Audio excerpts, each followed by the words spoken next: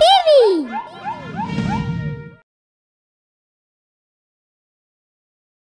হনুমান ও কালনেমির যুদ্ধ। এই কাহিনীতে বর্ণিত আছে রাবণের সব থেকে মায়াবী রাক্ষস কালনেমির কথা।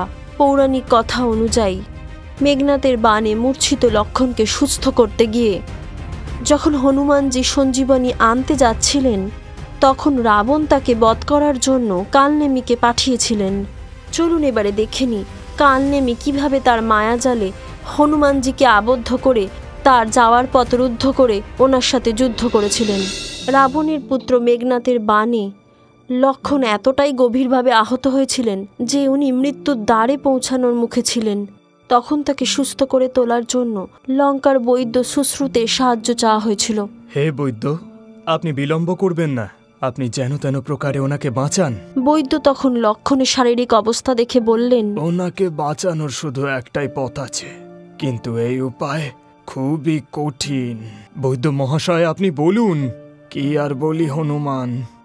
এর একমাত্র উপায় হচ্ছে সঞ্জীবনী জড়িবুটি আর তা হিমালয় পর্বতে আছে আর আমাদের কাছে সূর্যোদয় পর্যন্তই সময় আছে।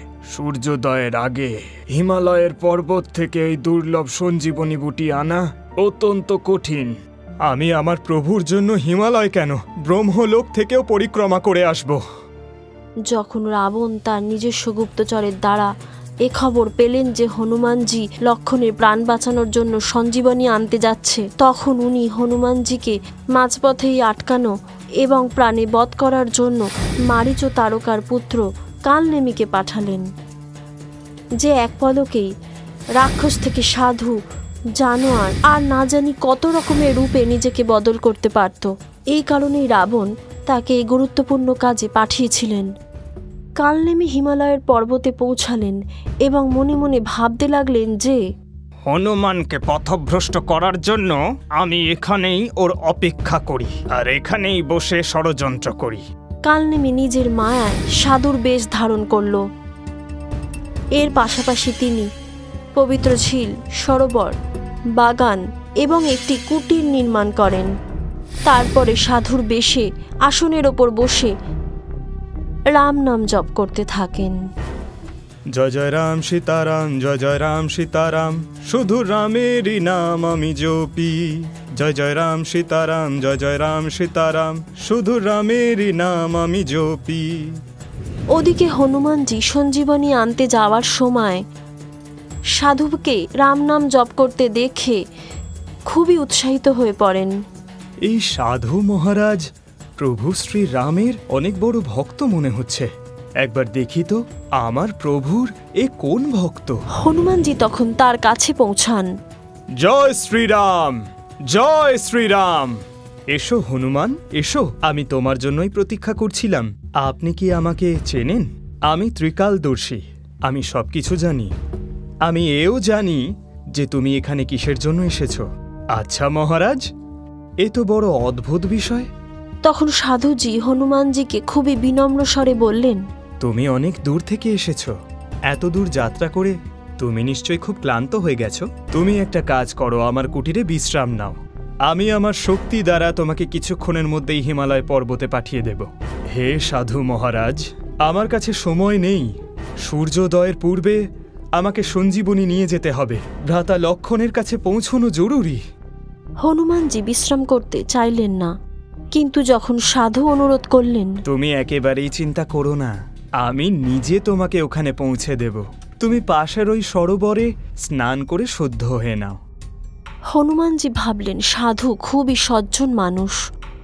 সাধুজির কথা শেষ হওয়ার পর উনি পবিত্র ঝিলের জলে স্নান করতে চলে গেলেন। জয় শ্রীরাম। এ সরোবরে স্নান করে তো বেশ আনন্দ হচ্ছে আর যেন যাত্রার সব ক্লান্তি দূর হয়ে গেল। হনুমানজি বেশ মনের আনন্দে ওই ঝিলের জলে স্নান করছিলেন। উনি জানতেন না যে ঝিলের জলে এক সাংঘাতিক কুমির রয়েছে। যখন উনি স্নান সেরে পাড়ে উঠলেন, তখন সেই সাংঘাতিক কুমির তার এক পা কামড়ে ধরল। এই ঘটনায় হনুমানজি তার গদা দিয়ে কুমিরকে আক্রমণ করতে শুরু করলেন আর কুমিরকে প্রাণে বধ করলেন। কুমিরের মৃত্যু হতেই ওই মৃত কুমির এক সুন্দরী কন্যায় পরিণত হলেন। এটা দেখে হনুমানজি কিছুটা হতবাক হয়ে গেলেন আর বললেন এ কেমন লীলা? এ পবনপুত্র লীলাধর আমাকে লীলা করার জন্যই আপনার কাছে পাঠিয়েছেন। আমি একজন দেবের কন্যা ছিলাম, একজন ঋষির অভিশাপে। আমি এতদিন কুমির হয়ে প্রাণ ধারণ করছিলাম, কিন্তু আপনার পা ধরতেই আমি অভিশাপ থেকে মুক্তি পেলাম। হনুমানজিকে ধন্যবাদ জানিয়ে অপ্সরা তখন কালনেমি সমস্ত সত্য ঘটনা বলে দিলেন। তারপরে ওনাকে সাবধান করে ওখান থেকে দেবলোকে প্রস্থান করলেন। এরপরে হনুমানজি কালনেমির কাছে গেলেন। জয় শ্রীরাম। আরে, হনুমান তুমি শুদ্ধ হয়ে চলে এসেছ? হুম, এইবারে চোখ বন্ধ করে বসে পড়ো। আমি তোমাকে গুরু মন্ত্রে দীক্ষিত করব। না মহারাজ, আপনাকে আগে গুরু দক্ষিণা দেব, তারপর দীক্ষা নেব। আরে আরে, তা কখনো হয় নাকি? প্রথমে দীক্ষা গ্রহণ করো, দক্ষিণার কোনো প্রয়োজন নেই। আপনার প্রয়োজন নেই কিন্তু আমার আছে। আমাদের নিয়মে প্রথমে দক্ষিণা তারপর দীক্ষা গ্রহণ। এছাড়া গুরুমন্ত্রের ফল পাওয়া যায় না। আচ্ছা পুত্র তোমার যা ইচ্ছে। মায়াবী আমি তোকে এক্ষুনি গুরু দক্ষিণা দিচ্ছি। আমি সব কিছু জানতে পেরেছি। তুই একটা মায়াবী রাক্ষস। তখন হনুমানজি নিজের গদা দিয়ে কালনেমির মাথায় আঘাত করলেন। তুই যখন জানতে পেরেই গেছিস তাহলে এই নে। আর তখন কালনেমিও নিজের স্বরূপে ফিরে এলেন। আর দুজনের মধ্যে তখন এক ভয়ঙ্কর যুদ্ধ শুরু হলো। হনুমানজি তার শরীরের সমস্ত শক্তি দিয়ে কালনেমিকে তখন ধরাশায়ী করে ফেলল।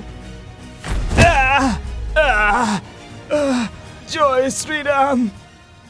কালনেমি, তুমি মৃত্যু পূর্বে শ্রীরাম নাম উচ্চারণ করেছ।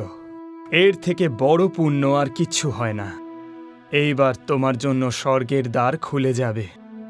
কালনেমি নিজের হার মেনে নিয়ে, কালনেমি হনুমানজির সামনে হাত জোর করে, হনুমানজিকে সঞ্জীবনী আনতে যাওয়ার সঠিক রাস্তা দেখালেন। তারপরে বিনা বাধায় এবং অতি দ্রুততার সাথে জয় শ্রীরাম ধ্বনি দিয়ে হনুমানজি বায়ুর তেজে সঞ্জীবনী আনতে যাওয়ার জন্য রওনা হলেন।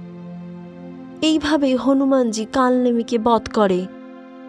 তারপরে সঞ্জীবনী নিয়ে লক্ষণের প্রাণ বাঁচায়।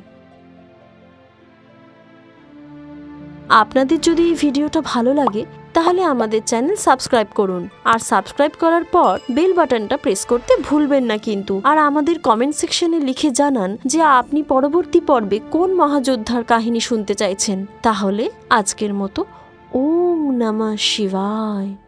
যদি আমাদের ভিডিওটি আপনার ভালো লেগে থাকে, তাহলে এটিকে লাইক করুন, চ্যানেল সাবস্ক্রাইব করুন এবং আমাদের কার্টুন শোজ সবার প্রথমে দেখার জন্য বেল আইকন প্রেস করতে ভুলবেন না।